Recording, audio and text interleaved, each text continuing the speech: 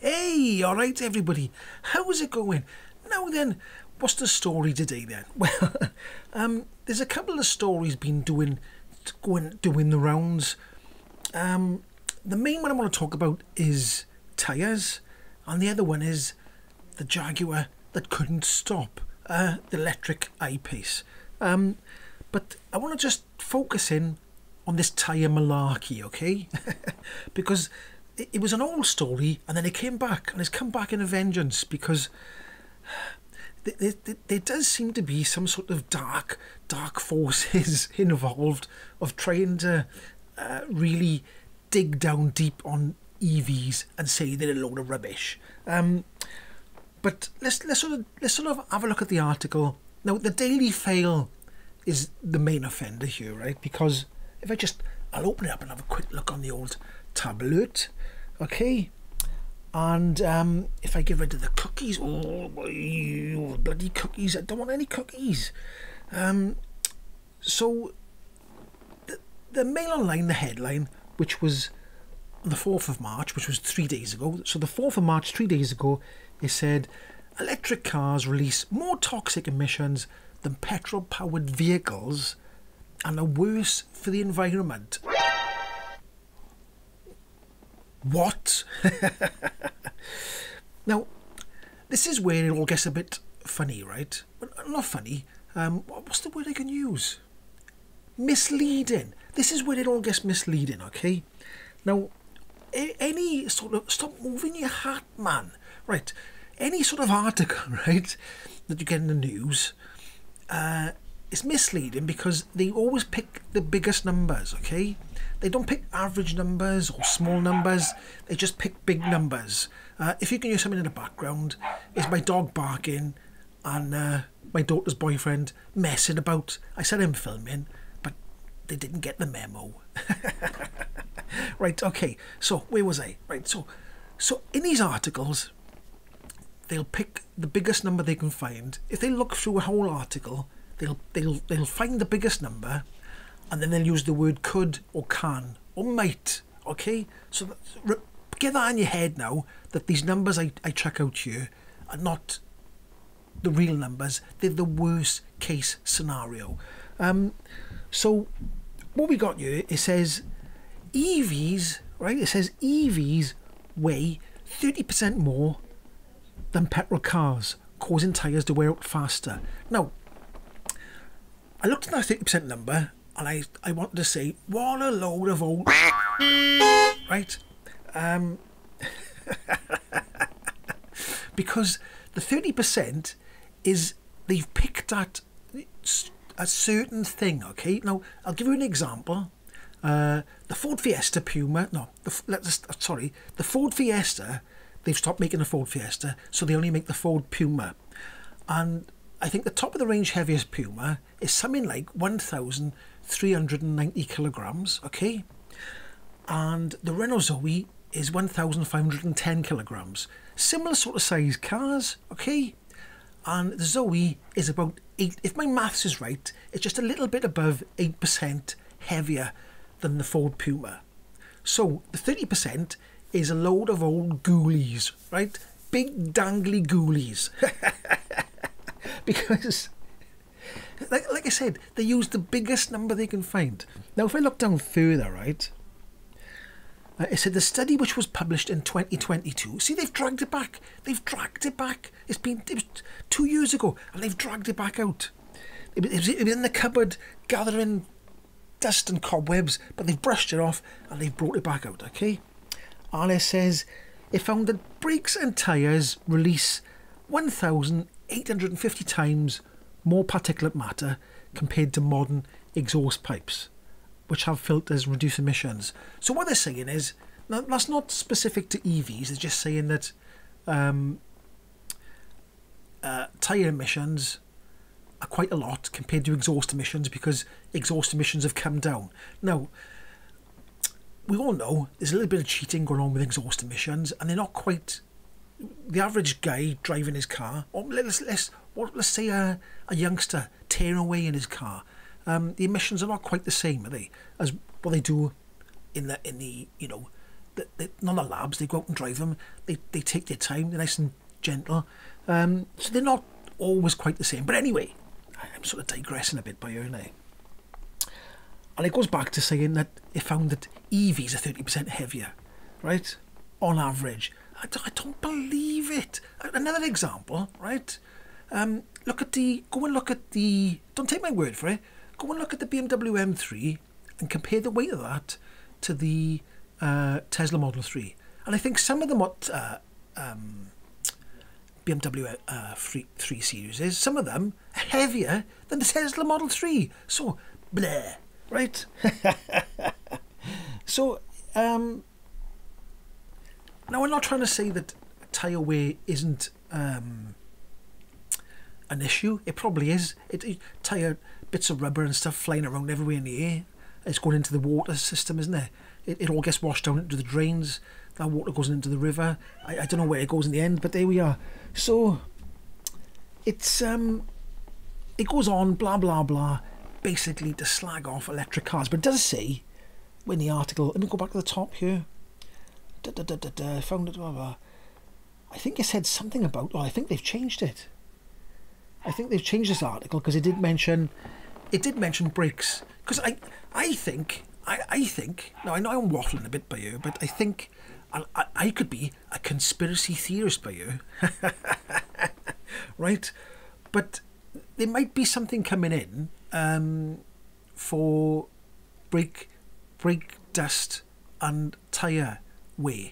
There, there might be something coming in for heavier vehicles will be sort of have, have some sort of punishment. I, I feel like that might be coming. I, I'm not too sure, but um, I could be. Look, I'm turning into a conspiracy theorist now. but uh, it could be coming. It could be coming to a cinema in the EU. So um, I think that might it could happen. It could sort of they could say because uh, they've got vehicles much cleaner. They could now say right, well the tires and the the brakes they make it a terrible mess everywhere, which they, they do. It is true. Um, so let's let's sort of let's let's do taxations on that or, or maybe something something. It, it might be it might not be a lot. It might be less. Obviously, if it's an electric car, the brakes hardly do anything at all because I watched a James and Kate's video and they use MG5s to, to do all this servicing. Uh, they go different places, do service in electric cars. And he took the wheels off after 100,000 miles and the brake pads were almost like new after 100,000 miles. That's mental. That's absolutely mental. Now, I looked at the Daily Mail article and I thought, well, right, because you do it, when you look at the Daily Mail, it makes you do that noise, it makes you go, oh, right, like that. and I thought, let's have a look at a more, you know, let's have a look at this article. Now, this is from the RAC, and this article uh, was done by Dr. Euan McTurk. Now, clever guy, and he sort of said he sort of said what I was just saying earlier about uh, don't take much notice of the numbers because the numbers are exaggerated. They're always the worst case scenario. And uh, I got cookies on you as well, though. Uh, and I think in his article, he stated that uh, he talked to somebody who, who done taxis, and they said the diesel taxi and a Nissan Leaf. They said the Nissan Leaf tyres, front tyres, uh, did need changing a few thousand miles before the diesel taxi ones. But he said the rear tyres on the Nissan Leaf were exactly the same as rear tyres on the diesel cars. He said they, they lasted exactly the same amount of time. Who would have thought, eh? So, really, they, they do these tests. Why don't they ask people who drive EVs if their tyres wear down incredibly fast? Because I've asked, I think I've asked this question before, and a lot of people have said that they haven't found their EV tyres to be wearing particularly fast. Now, that, it's all down to driving style. I know that. If you're a, you know, you've got a heavy right foot and you like to whip off, and if you've got a Tesla and you like to do, you know, the, the sprints 0 to 60 all the time, then your tyres are going to wear down pretty quick. If you go going around the corners, you know, acting like a youngster a tearaway, then your tyres are going to go. If you plod along, a bit like me, then your tyres are going to last longer.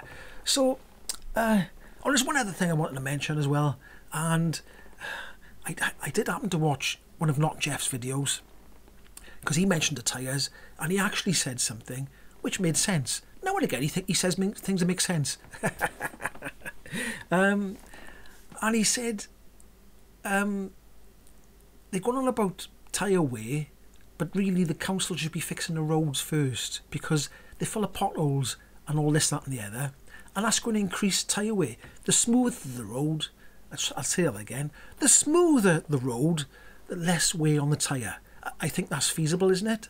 I think that's feasible. If you want a rough road, that's going to damage the tyre more, isn't it? It's going to be squeezing and contracting and all sorts of things. So I'm not a, I'm not a tyre scientist. I'm just saying what I think. Like I said, just my opinion. Uh, but the tyre, the, the roads are terrible. So if they did introduce a tyre tax or a, or, a, or a brake tax, uh, what about trying to avoid potholes all the time, braking and turning and going in the pothole, out the pothole. Anyway, I sound like a conspiracy theorist. Stop it. Now, I'll briefly talk about the Jaguar thing. The Jaguar uh, that wouldn't stop the I-Pace. Uh, it got stopped by the police. I think that was in the Daily Mail as well, that article. They, and he said he was doing 90 miles an hour, he couldn't stop. And, but the police stopped him in the end. And when you look at the photos, um, there's no damage to the you can't see any damage hardly at all to the front of the I-Pace so the, the police must have done a nice gentle stop because um, it looks like probably be a few scrapes or whatever but the anti-EV clan have jumped on that again they've jumped on that um, talking about the Jaguar I-Pace and they wouldn't stop and they're like oh see they're dangerous they're terrible oh my god they're the worst things ever they've all jumped on it and what I'd like to say on that matter is that if you've got a manual car and a clutch and a normal handbrake, then fair enough. That's you know, it probably is a bit safe. You, there's more things you can do to stop the car. You can put in lower gears. You can pull the handbrake up. There's more things you can do. But a lot of modern cars now have automatic gearboxes. That automatic gearbox, the lever isn't connected by a rod to the gearbox. It's connected to the a gearbox module and the gearbox module sends messages to the gearbox, and the gearbox has got um, I can't remember the names of the things now, solenoid things. They open and close, and they tell the gearbox what to do via a computer, right? Then you've got a, a fly-by-wire accelerator, and you've got a keyless entry in cars. Um, so that can happen in them types of cars as well. It's not it's not just down to electric. It could happen if if the modules all go funny. Uh, it could happen in another car. Now, what I what I did find weird about the Jaguar I-Pace while stopping is that years ago you used to have a sort of split system where if one side went, you could still sort of stop on the other side. But the way they were speaking is if there was no brakes at all. Now, I did watch a video. I don't know if this is relevant or not, and I don't know if I'm waffling. I am waffling. uh, I watched a video where uh, somebody was trying to fix a Vauxhall Corsa E, not electric one. I mean, like the, the numbered uh, Corsa B, Corsa C, Corsa D, Corsa E, sort of the U, the U type U model, um, and the passenger side front brake wasn't working at all. Nothing at all on the on passenger front brake. And the guy went and looked at the, the caliper and he was fine. He wasn't uh, seized or nothing, nothing wrong with the caliper at all. And it turned out to be the actual ABS block. And that was stopping that brake from working. So I, I don't know if more modern cars, they've got this ABS block, if that can stop all the brakes working. I don't know. Maybe I should look it up. But uh, anyway, I just wanted to say that the Jaguar thing, the anti-EV clan, they've jumped on it. They've said, oh my God, electric cars are terrible. But them same sort of systems are in expensive modern diesel cars and petrol cars. So up yours, anti-EV clan. anyway, that's my waffle for today. If you like this video, go on, subscribe, uh, like, and I'll catch you in the next one. Ahoy!